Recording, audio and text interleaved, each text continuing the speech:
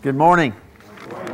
What a joy it is to be here and to be blessed by your voices as we've lifted them up to God this morning. And I know that, that He and the angels are, are rejoicing with us and pleased beyond measure. I am excited about the theme. It's a wonderful life. Are you? Because I've spent all of my life in the context of the Lord's church. From, I guess, a week after I was born, my mama had me in, in church services, as many of you, that's true, though some of you came later in life. And you know, the church goes through periods. It kind of has ages, like history does in its broader sense. But the church, you know, we go through times where we're very effective, and then we go through times where we feel like we're not that effective. And I think that we need a message of positivity in the churches of Christ in 2014. We really need a message of positivity. Because I, in some ways, I think that the events that are taking place in the world around us, in our society in particular, are stripping us not only of our confidence and instilling fear within us, but they're taking away our optimism in some ways. And it's, it's really not the world's fault because I, I, it, I marvel at the fact that, that when worldly people act worldly, we're shocked. I mean, isn't that strange? Don't be shocked by anything the world does. It doesn't really make any sense. When my dog acts like a dog, which can quite be frustrating, it doesn't surprise me. Does it you? And, and not that we're insulting people in regard to dogs, but we're simply saying that the world, the Bible tells us very plainly that the world, it has its own prince. It is the prince of lies, the prince of the air. He is the prince of this world. The devil has a great deal of control in this world. And there is no level of wickedness, ungodliness, or perversion that is beyond his scope. So uh, we should not ever be surprised by worldly people acting worldly. But we are. And not only that, we don't just we're not just shocked by it, we're not just surprised by it, we react to it. And some of the ways that we react, I think we need to hear this theme. And we don't just need to hear it here for a week, we need to take it home and insist that in our local pulpits and our local Bible classes, in just the conversations in the hallway and at the restaurant across the table, that we adopt a biblical spirit of positivity. Amen. Rather than giving in to the pessimism which is so rampant in our brotherhood today. Folks, I get a lot of bulletin articles. You know, uh, many of you probably get bulletins from all over. And I've gotten to where I just don't hardly look at them anymore because I'm telling you, if we couldn't write negative bulletin articles, I, think most bulletins would be blank. You just don't read a lot right now about it's going to be okay. We're doing all right. We're going to win. The victory is secured. How many of those titles have you seen lately? You see, what's happened is we live in a time where we feel threatened and despondent. And I understand it. Oh, it's, it's no mystery as to why that's the case. Because when we look around, we see morality on steep decline. We see a time when marriage is not honored, and, and it's common to say, my baby's mama, rather than my wife. And that discourages us if we allow it to. We see a time of religious compromise, both in the religious world at large, where although there were disagreements, and, and in the past, of course, there were even debates, but it, there was a time when we could pretty much count on the religious world at large for on a lot of really big issues to be at the same place. At least we could start from the same place. But both in the religious world and even in our own congregations, sometimes we, we just ask why. Where did we come up with this? And I understand why we allow ourselves to give in to that despair, and to feel threatened. We live in a world, and uh, in the last few years at this encampment, we've talked a lot about the moral homosexual agenda that's taken place in our country. And you in California experience it in a way that we will not experience it in Arkansas and Alabama and Tennessee for another 15 years, but it's coming there too. Because worldly people act worldly. And we shouldn't be surprised, but yet we see that and we feel threatened by it. And so we talk about it and we, you know, kind of let that consume our thoughts sometimes. We look at atheism. We're going to talk about some that some this week in some of our classes, and it's important to talk about. But when worldly people deny the existence of God, it shouldn't surprise us because the Bible says, The fool saith in his heart, There is no God. And the fool was saying that 4,000 years ago. And fools still exist. We look at irresponsibility. Now, most of you know I'm a police chaplain, and so I ride with cops a lot, and, and I like to ride with the drug and gang task force. And I was with one about a week ago. And we were watching a, a, a known drug house and saw a man come out, and he kind of took off pretty fast down through a gully, and we went around, you know, on the streets to try to cut him off. And sure enough, we found him walking down the street, and the officer and I got out, and we were talking to him, and, you know, we they checked him and he didn't have anything, ran him for warrants. But in the course of this conversation, the officer was talking to him and he said, Listen, I got 11 kids. And the officer said, How old are you? He said, I'm 24. I'm not lying. This is the absolute truth. I'm 24.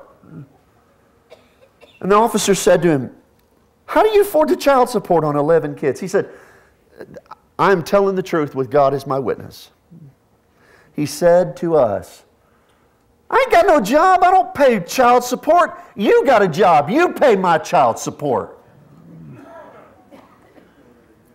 We got back in the car, and the officer looked over and said, Would it be wrong just to run him over?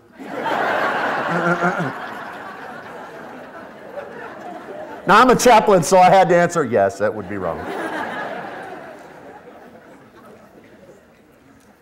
you know, but it made me upset does that make you upset? Amen.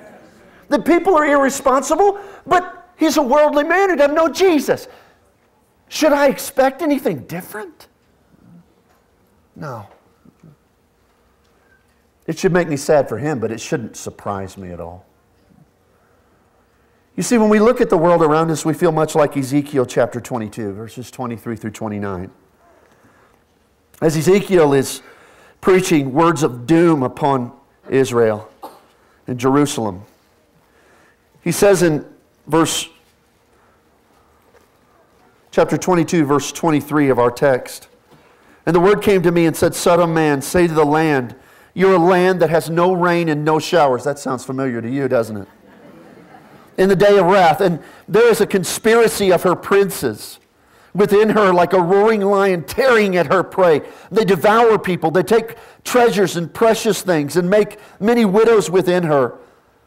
And then her priests, her priests, they do violence to my law and they profane my holy things and they don't distinguish between the holy and the common. He says, Here is a culture where her princes, her politicians, her leaders, they're corrupt to the core of their being and or priests, those who claim to be religious leaders and have the answers to people's emotional difficulties, they're corrupt and they just care about what they can get from people. And he goes on and he says that her officials, verse 27, within her are like wolves tearing at their prey. They shed blood and they kill people to make unjust gain and her prophets whitewash these deeds from them by false vision and lying divinations. They say, This is what the sovereign Lord says when the Lord has not spoken. So even those folks who should be a beacon of light and right in a world of darkness call bad things good and name evil things as righteous. Do we live in a world that does that? On almost every issue they reframe the discussion and call that which is evil good. And so we understand the lament that Ezekiel puts forth here. We understand this condemnation and the frustration and the despondent and threatened feel of God's faithful few. But part of the problem is sometimes we stir it up. You know, I've become, and this is a, maybe I should or shouldn't say this, I don't know, I, but I'm, I'm already committed now, so I will. Sometimes we as preachers are at fault because if we preach about the negative, we're going to get more amens than if we preach about the positive. That's the truth. Just like on the news, everything's bad because it sells better. And in the church, if I walk into your congregation and preach a five day meeting about, well, you wouldn't have me for a five day meeting anymore. We might get two days out of it, okay? But if I come in and I do a meeting, or Paul does a meeting, and it's about this agenda in the world that's happening here, or how we're being threatened in this way, or how this is happening, and, and we need to be watching this, brethren, because we don't know what's going to happen. Let me tell you, we'll get bigger crowds, and we'll get more amens, and we'll gather together, and we'll wring our hands together. And as a preacher, I'll feel like a success. Because you know, fear always always draws a bigger crowd because people are just looking for a way not to feel afraid. You see, this brings to mind to me this theme, that classic Frank Capra movie that I think all of us have seen and some of us watch every single year at holiday time by the same name. It's a Wonderful Life. That tells the story of our simple but wonderful hero, George Bailey. And you remember that George, he grew up in idyllic and sleepy little town called Bedford Falls. But he never wanted to stay in Bedford Falls. He found the little town to be boring and he wanted to adventure and see the world and all that it had to offer. Remember, he had a suitcase and he was going to put a sticker on it from everywhere that he went. He had these big, big dreams, but life got in the way. And really, self sacrifice got in the way. It started when he was very young, and his brother fell through the ice, and he had to dive into the ice to save his life. You remember that? And George, because of that sacrifice, his brother went on to be a war hero, but he, he lost hearing in one of his ears. And it continued when he was a grown man and he was all packed. He was going to travel the world. He saved his money. He was going to travel the world. And then he was going to go to college. A big dream. But then his daddy died. And there was nobody to take over the old building and loan unless George stepped up and took responsibility. So he gave up his dreams. He put them on hold. Then he got married in the process and they had a family. And running this little business is a hard way to go. During the Great Depression, it takes everything he's got, even to hold it together, as people march into the building and loan and demand their money. And you remember that great speech? It's in your house, Bill, and it's in your house, Larry. And he holds it together, even though Mr. Potter, who owns all the rest of the town, remember he calls him in and he says to George, he says, Oh, you have it too hard. Let me give you, and he offers him this ginormous salary and promises him the biggest house in town and European vacations, things that George had dreamed about his whole life. But he was never able to have because of responsibility and broken dreams.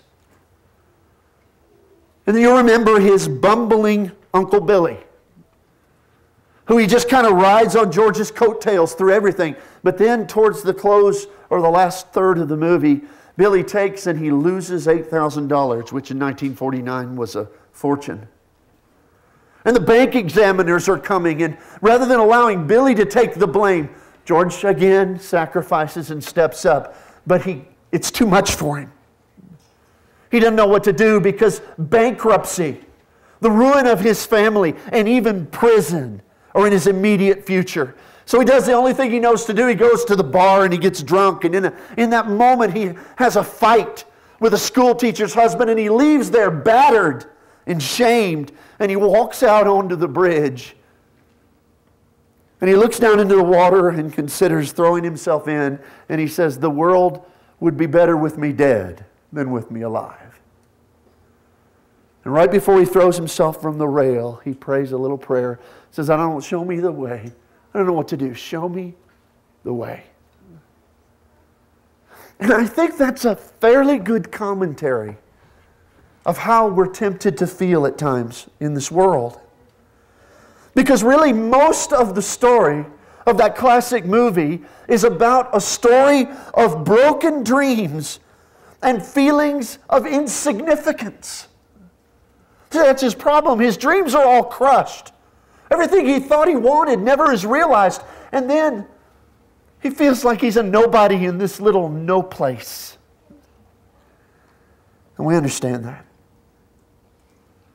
Because every one of us have felt those emotions of brokenness. Every one of us have felt like David after his sin, who he cries out, Create in me a clean heart, O God. And is broken over his sin and his weakness, or like the Apostle Paul, who says in, in Romans chapter 7, that's a text we just don't preach very much. We preach a lot of Romans chapter 8. I wish the chapter division wasn't there. But that's how I think Paul originally wrote it. When he says in chapter 7, the things that I would do, those things I doeth not. And the things that I do are the things that I hate. Who will deliver me from this body of death? And he talks about the weakness and the struggle of being human and wanting to do right and loving the Lord with all of our hearts, but continuing to struggle with sin. And you can just hear the agony in his voice until chapter 8, verse 1 which we didn't have the chapter division to just flow right through. Who will deliver me from this body of death? But therefore, there is no condemnation for those who are in Christ Jesus. Amen. Who walketh not according to the flesh, but according to the Spirit. You see, Paul understood the feeling of brokenness, every human being, be they an Abraham, a David, be they a, a Daniel or a Joseph, or a Peter, or an Apostle Paul, or a new Apostle Paul. Every one of them sometimes feels broken. We all know what that feels like. We look in Job chapter 30. And I think there can't be a better example in Scripture of this expression of brokenness than Job because he truly went to the bottom of life. He was George Bailey in that moment, wasn't he? He lost. No, George Bailey he was afraid he'd lose everything. Job really did lose it all. And he says in chapter 30, verses 24 and following, he says, Surely no one lays a hand on a broken man when he cries in help of his distress. Have I not wept for those in trouble? Has my soul not grieved for the poor? Yet when I hoped for good, evil came to me. And when I looked for light, then came darkness. The churning inside me never stops. The days of suffering confront me. I go about blackened, but not by the sun. I stand up in the assembly and cry for help. I have become a brother of jackals and a companion of owls. My skin grows black and peels. My body burns with fever.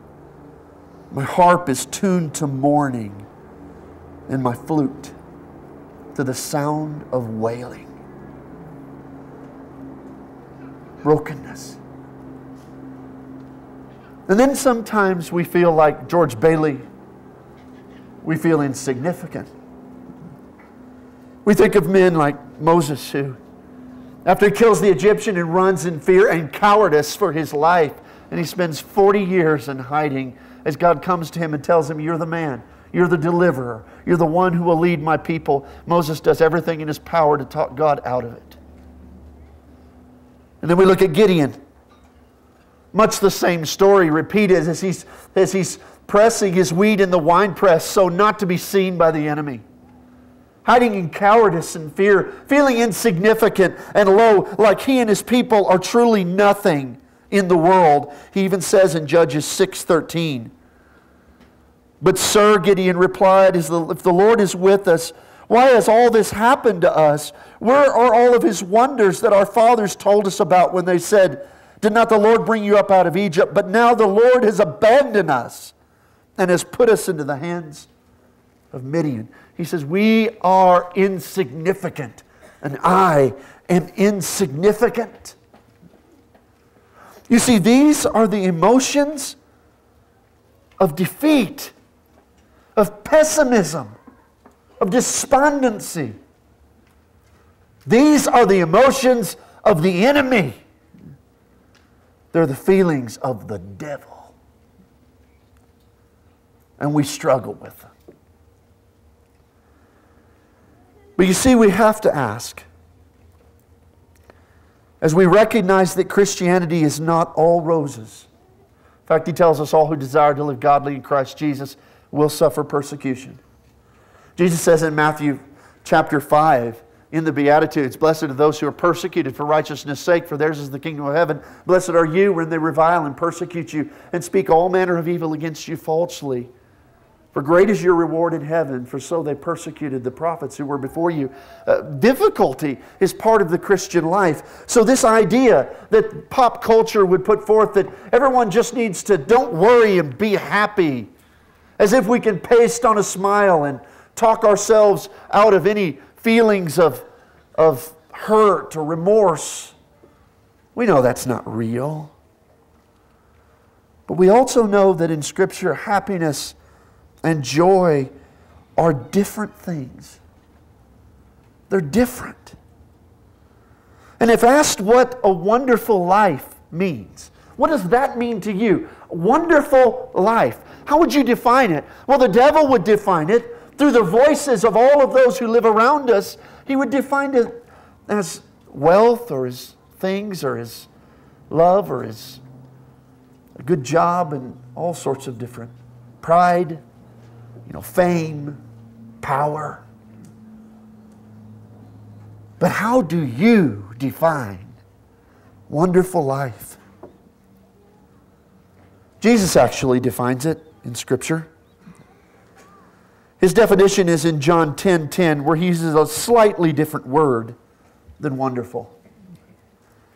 Because he says the thief comes in to kill and destroy. That's what despair does.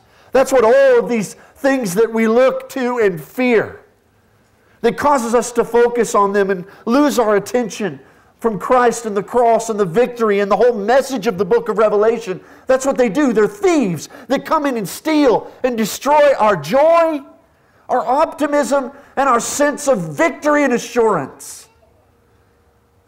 He says that thief comes in to steal and to kill and destroy, but I have come that they may have life and that they may have it abundantly.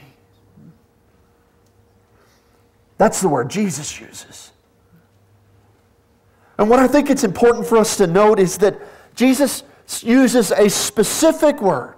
Some of your versions will say to the fullness, but I love that word abundantly. Because what Jesus did not say is, I have come that they may have life and that they may have life adequately. There's a vast difference between adequate and abundant. Adequate is McDonald's.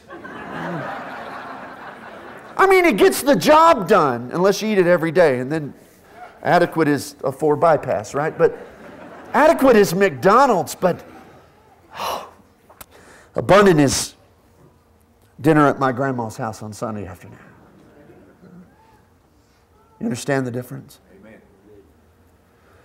Adequate is, you know, spending time with folks from work and they're good folks and having a little bit of fellowship there, but abundant is being at the Tahoe family encampment. And sometimes we live like Jesus promised adequacy. And he didn't. He came that we might live an abundant life life that is more, a life that is fuller, a life that is not dependent upon the circumstances of the world around us, a life that is truly wonderful in ways that the world around us cannot understand. With that peace that surpasses all of their understanding. You see, the reality is, is life is about perspective. Understanding whether it's good or bad.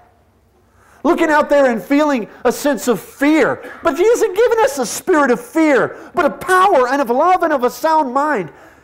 So, what's the difference? Because the circumstances don't change. The difference is lenses, it's how you see it.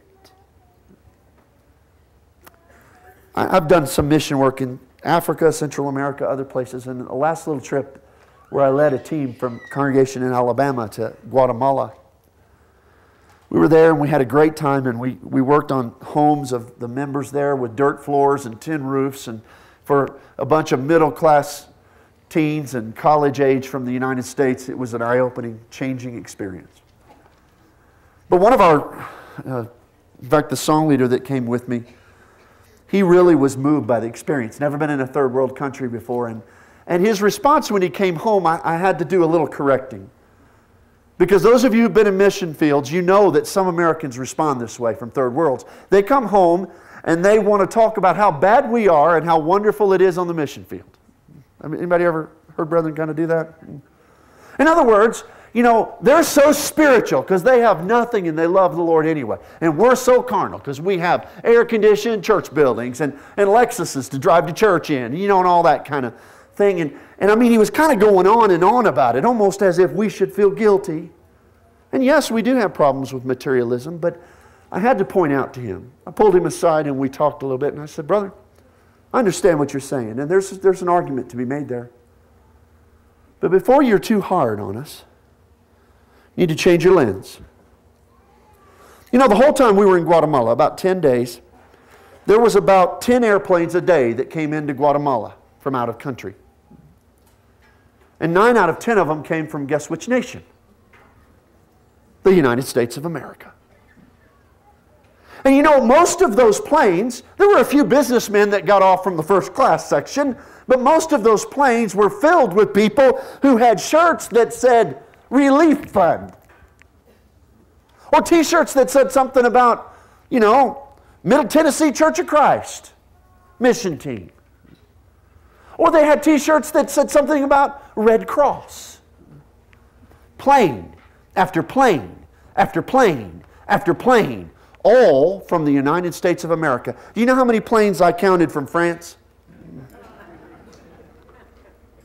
How about what's some of the other rich countries in the world? How about Germany? How many mission teams you think came from Germany to Central America in those 10 days? How about from Japan? Or how about from, do you understand my point here? This country has some serious problems, but it is, to this day, the most generous nation that has ever existed. And it's all about how you see it, isn't it? Whether you're looking for the good stuff or whether you just become so consumed with all the bad. When we look around us, what lens do we wear? When we look around us at this new postmodern generation that's coming up, oh, there's a lot of things we could look at and focus on and be very, very critical, rightly so, of. But you know, there's some good things too if we look with the right lenses. When we look at our world and, and a lot of the political ideology that is just so contrary to the will of Christ, we could focus on that. But if you look, there's some good things too. And I'm not saying we ignore or we wink at the bad. That's not the point. The point is, is how we see things, not that we compromise truth or that we stop trying to teach others or bring them to a biblical understanding. I'm talking about how we feel about ourselves. When we look and we, we, we perceive from all the wickedness that the devil is winning, then we feel like losers. But when we look beyond with the right lenses, the lenses of faith, then we realize it's just the attempts of a desperate enemy who has already lost the battle. He's already lost the war. You see, we need to see things clearly. George Bailey, he doesn't end there on that bridge. And we won't promote the theological implications of all of that movie, but the principle is profound indeed. Because in the film, he is encountered by a bumbling but adorable guardian angel named Clarence. And Clarence grants him his wish, and he says, You think life would be better if you'd never been born? Let's find out. And he walks him through an alternate reality. A reality in which George Bailey never came into existence. And these are the changes that he sees. His brother is dead because he died falling through the ice. Because George wasn't there to save him. He goes in his wife, his sweet wife, who's been an adorable mother and wife and helper. She is a lonely spinster and an old maid. His uncle, Billy, bumbling but adorable, who's thrived under George's wings. He's in an insane asylum and lost his mind. And then, of course, the town of Bedford Falls, that idyllic, beautiful, quaint little community, is now Pottersville. With bars on the window and a sense of doom and dread in everyone's heart. And as George Bailey sees through a different pair of lenses,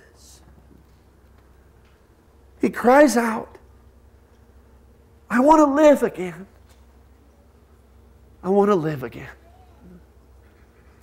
And you know the conclusion as he goes home and he says, I love you, you old building and loan, and I love you, you old lamp post, and all the different things that he, that he cries out in his joy as he goes home with a new perspective, new lenses, a new outlook on life. Nothing had changed. Everything was exactly as it had been, but he, he had changed because he saw it differently. So he went home and he hugged his wife and his children. And then his friends start pouring into the house and they heard about his troubles and they bring him their savings and they bring him their extra. And then his friend from long ago that he'd forgotten about, who had built a big business, wires in any amount of money he needs. And then he sits there and his brother comes in and says, To my brother George Bailey, the richest man in town. All because of perspective. You see, there are some scriptures that teach us valuably what this means. In Ezekiel chapter 22, where we studied a little bit earlier, and we're closing down. But in Ezekiel chapter 22, we see that God is one who, even in the midst of all the bad, remember what it talked about the princes and the priests and, and, the, and the, even the leaders of the land, they're wicked, and it's from top to bottom, from richest to poorest, from greatest to least. They're wicked, but what does God say? Does He look at that and focus on the wickedness? Look at verse 30. But I looked for a man among them who would build up the wall and stand before me in the gap. In all the wickedness, in a world of wickedness, just like he had in the flood, when all he could find in a world of millions was eight, God was looking for the eight. In this world where the entire nation had become corrupt and wicked. God was looking intently, had the right lenses on, and he was searching for the good in the midst of all the bad. You see, there's so much good. In Romans 8 37 through 39, it tells us, Yet in all these things we are more than conquerors through him who loved us. For I am persuaded that neither life, nor death, nor angels, nor principalities, nor things present, nor things to come, neither height, nor depth, nor any other created thing will be able to separate you from the love of God which is in Christ Jesus our Lord. We are victors, and when we see it through that lens, folks, there's a lot of good in this world, and there's more good that can be done if we'll stand in that gap and be that light that the Lord is looking for. And when we look around us, the question the world ain't going to change based upon what lenses we wear. It'll change based upon what we do, but not what lenses we wear, but we will change based upon how we see it. You see, sometimes when you find beauty among ugliness, it's even that much more beautiful, isn't it? One lovely rose amongst a field of roses is pretty but one lonely rose in a barren land is magnificent. Look for the magnificent. Look for the wonder in this world because it's there. And I think of the words of that king of jazz as he wrote the song that all of us will remember, entitled I Say to Myself, what a wonderful world. And if you'd indulge me, I'd like to change just a couple words in the song. I see trees of green and red roses too. I see them bloom for me and for you. And I say to myself, what a wonderful God. I see skies of blue, clouds of white, the bright, blessed day and the dark, sacred night. And I say to myself, what a wonderful life. All the colors of the rainbow, so pretty in the sky, are also on the faces of the people passing by. I see friends shaking hands, saying, How do you do? When what they're really saying is, I love you. I watch, I hear babies crying, and I watch them grow. They'll learn much more than I'll ever know. So I say to myself, What a wonderful God. And yes, I say to myself, what a wonderful life. We are more than conquerors through Him who loved us. This morning, if you focused with the wrong lenses, and it's about who you are and what you feel about yourself. You can go to church every Sunday, be faithful, and still live a life of despair, focusing on all the bad. If you've been looking at life through the long, wrong lenses and you need to make a change this morning, and you want to say, Lord, from this day forward, I want to go home and I want to be a force of joy and of optimism and of victory rather than a voice of fear and defeat, then don't delay. Come right now as we stand and as we sing.